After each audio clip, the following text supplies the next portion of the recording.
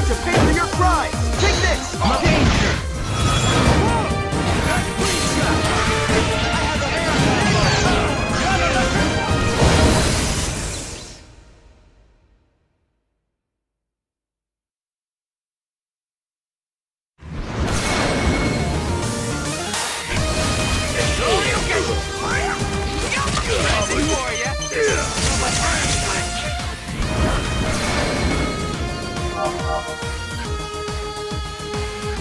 Thank